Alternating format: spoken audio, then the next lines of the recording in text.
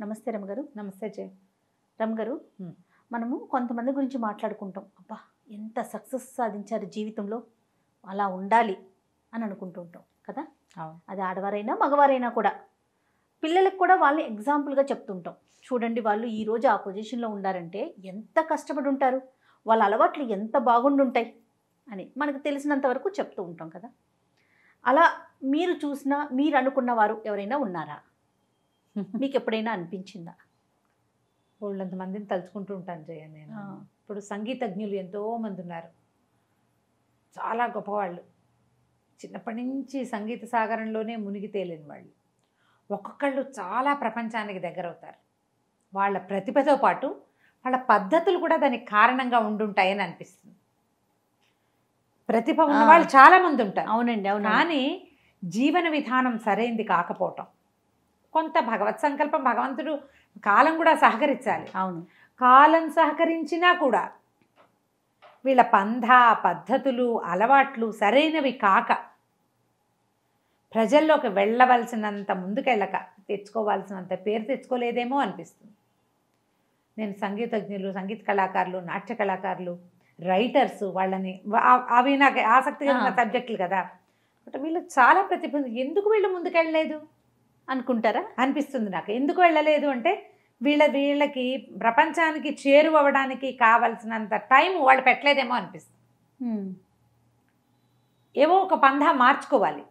ఇప్పుడు చేరువైన వాళ్ళు ప్రపంచంలో సక్సెస్ అయిన వాడు ఎలాంటి పద్ధతితో ఏ రకమైన లివింగ్ స్టైల్తో ఏ రకమైన ప్రవర్తనతోటి వీళ్ళు ప్రపంచానికి చేరువయ్యారు అనేది తెలుసుకుని ఈ ఔత్సాహికులు వాళ్ళని ఫాలో అయితే భలే ఉంటుంది కదా. చాలా బాగుంటుంది. ఇంకా కొంచెం మంది ఎక్కువ మంది కళాకారులు ప్రపంచానికి పరిచయం అవుతారు. ఎక్కువ మంది సక్సెస్ఫుల్ పీపుల్ ఉంటారు ప్రపంచంలో. ఇప్పుడు వ్యాపారస్తులు గొప్ప గొప్ప వ్యాపారాలు చేసే వాళ్ళు చూస్తాం. చిన్న చిన్న కంపెనీలు పెట్టుకుని మామూలు మామూలు చిన్న చిన్నవి పెట్టుకుని మంచి కోట్లకు పడగలెత్తుతారు మనం ఈ పదేళ్ళ క్రితం వాళ్ళు మనకు తెలుసు. ఇవాళ వాళ్ళు మనం ఇంటర్వ్యూ తీసుకునే స్థాయికి వచ్చారు. అంటే ఈ- ఈ సక్సెస్ దాంట్లో ఒట్టి సక్సెసే కాదు. వాళ్ళు ఉన్నారు కదా అందులో. వాళ్ళ విధానం అవును. వాళ్ళ పద్ధతి వాళ్ళ అలవాట్లు వాళ్ళ ఆలోచనలు వాళ్ళ దినచర్య. ఈ సక్సెస్కి వాళ్ళు ఎలాంటి సమయాన్ని ఇచ్చారు అనేది చాలా ఇంపార్టెంట్ దానికి సమయాన్ని ఎట్లా ఉపయోగించారు అనేది ముఖ్యమైన విషయంగా తోస్తుంది. సమయాన్ని వృధా చేయకూడదు కదా? అవునండి. నిద్రలో అనవసరమైన వాద వాద ప్రతివాదాలలో తర్వాత అక్కర్లేని ఆడంబరాలకి ఆలోచనలకి తావివ్వటం. నిరాశావాదం. ప్రయత్న లోపం లేకుండా ఉండటం. ఆ, ప్రయత్న ఇవి ఇవి కరెక్ట్గా చెడగొట్టేస్తూ ఉంటాయి ఎప్పుడు నిద్రపోతాం మనం. అవును. ఎక్కువ నిద్ర కావాలి మనకి. పైగా సమయం పనిచేసే సమయంలో ఏమో పడుకుంటాము. మనం లేచాక ప్రపంచం పడుకుంటుంది. అలా అయిపోతూ ఉంటుంది. అట్లా కాకుండా సరిగ్గా పర్ఫెక్ట్గా ప్లాన్ చేసి సూర్యుడితో పాటు నిద్ర లేచి చేసిన వాడు సక్సెస్ అవుతాడు జయ ఎప్పుడు కూడా. వీళ్ళు వీళ్ళకి అలా సక్సెస్ఫుల్ పీపుల్కి బయలాజికల్ క్లాక్ కరెక్ట్గా ఉంటుంది. శరీరంలో ఒక గడియారం ఉంటుంది కదా? అవునవును. ఆ గడియారాన్ని ఫాలో అయిన వాళ్ళు ఎక్కువగా సక్సెస్ అయినట్టుగా భావిస్తాను నా ఉద్దేశం. ఒకవేళ సక్సెస్ అయినా కూడా బయలాజికల్ క్లాక్ని ఫాలో అవ్వరు. వీళ్ళు పొద్దునే లేవరు అర్ధరాత్రి దాకా పనిచేస్తారు తెల్లవారుజామున పడుకుంటారు. కానీ వీళ్ళు అనారోగ్యానికి గురైపోతారు. మరింత కాలం ప్రపంచానికి చేరువుగా ఉండే అవకాశాన్ని అనారోగ్యం చెడగొట్టేస్తుంది. ఇప్పుడు ఏ ప్రపంచానికి వెళ్ళినా సరే. వేళకి తినటం వేళకి నిద్రపోవటం పని చేయవలసిన సమయంలో పని చేస్తున్న 100% సమయంలో ఇతరత్ర వ్యవహారాలకి తావివ్వకపోవటం. తర్వాత నైతికమైన ప్రవర్తనని కోల్పోకూడదు. అంటే ఎట్లా రమ్మగారు? స్నేహాలు అలవాట్లు ఒకళ్ళకి ఇద్దరికి ముగ్గురికి మాట ఇచ్చేయటాలు మాటలు సపోర్ట్ చేయలేక అంటే ఇచ్చిన మాట నిలబెట్టుకోలేకపోవటాలు. అలాంటివి సక్సెస్ని కలిగించవు చేయ స్నేహాలంటే చెడు స్నేహాలు చెడు? స్నేహాలు. ఇప్పుడు ఒక ఒకడు పరిగెడుతున్నాడు. ఒక ఒక వ్యాపారం కోసం. రికామీగా ఉండే వాళ్ళతో స్నేహాలు చేయొద్దు. రికామీగా ఉండేవాడిని నీ నీ పని వైపుకి లాగగలిగితే వాడిని పట్టుకో. వాడు నీ పనిలోకి వచ్చేటట్టయితే. నువ్వు చేసే పనికి వాడు కూడా సహకరించేటట్టయితే. ఖాళీగా ఉన్న ఫ్రెండ్స్ని మన రారా నేను ఈ పని చేస్తాను నువ్వు కూడా రాని వాడిని లాక్కు రావచ్చు. వాడు ఖాళీగా ఉంటాడు నువ్వు పని చేసుకుంటావు మీ ఇద్దరు ఫ్రెండ్స్ లాంటి ఫ్రెండ్షిప్ల్లోకి వెళ్ళిన వాళ్ళు బాగుపడినట్టుగా కనపడదు. కనిపించదు. కొన్నాళ్ళకి ఆ చెడిపోయిన వాడి వల్ల వీళ్ళకి కూడా సమస్యలు వస్తాయి. అది మంచి ఆలోచన కాదు. ఎప్పుడు కూడా మాట నిలబెట్టుకోవడానికి ట్రై చేసేవాడే సక్సెస్ అవుతాడు. చేయలేని దాన్ని చేసేస్తానని చెప్పద్దు. ఎస్ అసలు చాలా వ్యాలిడ్ పాయింట్ అండి ఇది మాత్రం. చేయలేం మనం. తెలుసు ఆ విషయం మనకి. ఇప్పుడు నాలుగు పనులు ఎటే టైం చేయటానికి ట్రై చేయొద్దు. రెండు లేదా మూడు చేయండి. ఒకేసారి మల్టీ టాస్కింగ్ అంట. మల్టీ టాస్కర్స్ ఉంటారు కదా? అవునవును. ఎంత మల్టీ టాస్కర్ అయినా not more than three. Overconfidence. మనకి పిడికిట్లో పట్టినంత ఇసుక పట్టుకోవాలి. ఎక్కువ ఇసుక పట్టుకుని దాన్ని బిగిస్తాం. కారిపోతుంది. ఉండదు చేతిలో. నువ్వు పట్టుకుని కరెక్ట్గా నువ్వు దీన్ని బిగించిన కొందికి కారిపోతుంది అది ఉండదు. కాబట్టి నువ్వు పట్టుకోగలిగినంతే పట్టుకో. పిడికిలికి సరిపడా పని. ఇది మీట్ అయ్యాక ముందుకెళ్దాం. దీంట్లో మీ రెగ్యులర్ దినచర్య. రోజువారీ వ్యవహారం. దాదాపుగా ఒకేలా ఉండేలాగా చూసుకోండి. పని చేయటానికి ప్రత్యేకమైన గంటలు ఇప్పుడు లేవు. ఎందుకంటే చాలామంది నేను చూస్తున్న ఆర్కిటెక్ట్స్ వాళ్ళు ఆర్కిటెక్చర్లో ఉన్న వాళ్ళు చదువుకునే వాళ్ళు పిల్లలు రాత్రి ఒంటి గంట దాకా రెండు దాకా మూడు దాకా పనిచేస్తూనే ఉంటారు. తెల్లారి పదకొండు దాకా పడుకుంటారు. ఆరోగ్యం చెడదా? లేట్ అవర్స్లో గీతలు గీసే వాళ్ళకి మే వెన్నెముక చాలా తొందరగా పాడైపోతుంది. పొద్దుటిపూట నువ్వు ఎంత పనైనా చేయి సాయంకాలం పడుకోవాలి.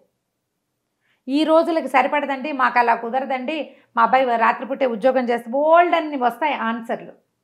మనకు వచ్చేస్తాయి మెసేజ్లు చాలా వస్తాయి. నాకు కూడా తెలుసు మా పిల్లలు కూడా రాత్రిపూట పడుకోరు. ఈ కాలం అలాంటిదే. కానీ?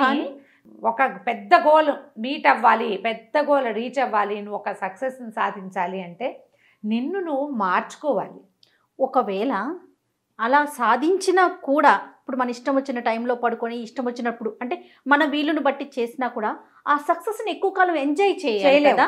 చేయాలంటే మనం ఉండాలి కదా? ఉండాలిగా ఎస్ మన అలవాట్లు మార్చుకోకపోతే ఆరోగ్యంగా ఉండలేకపోతాం కదా. అదే ప్రపంచంతో పాటు ఉండే ప్రయత్నం చేయాలి.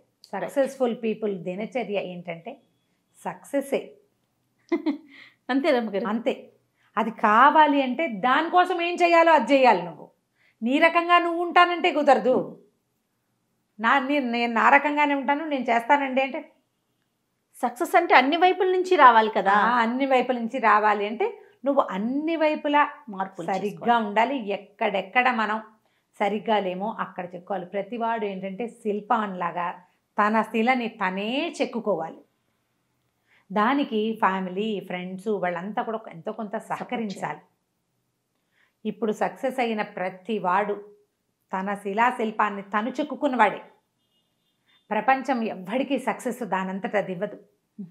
అవకాశాలు మాత్రమే ఇస్తుంది. అవును. నువ్వు అందిన ప్రతి అవకాశాన్ని గ్రాప్ చేసుకుని నిన్ను నువ్వు మలుచుకుంటూ నువ్వు ముందుకెళ్ళిన నాడే ప్రపంచం మీద నీదైన ముద్ర ఉంటుంది.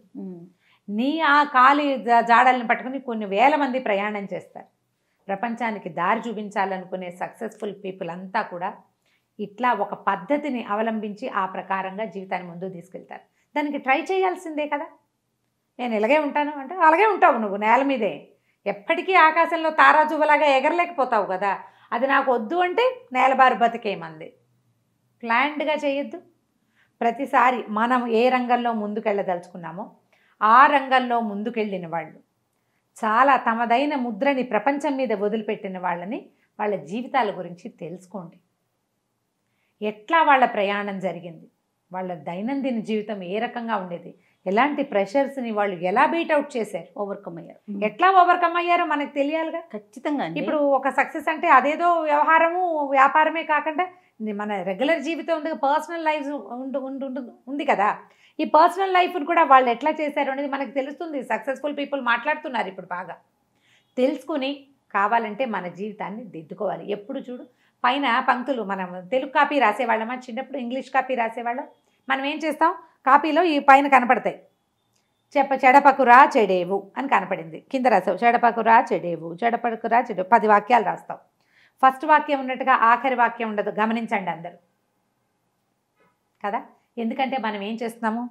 పైన ఉన్నది చూడటల్లా మనం రాసిందే మనం చూస్తాం. అందుకనే వంకర్లు వస్తాయి. ఏం చేయాలో తెలుసా? ఈ పైన ఒక లైన్ ఉందా? కాదు. వినండి ఈ ఐడియా. కింద లైన్ నుంచి మొదలుపెట్టు. నువ్వు ప్రతిసారి పై లైనే చూస్తావు. నీ లైన్ నువ్వు చూడవు.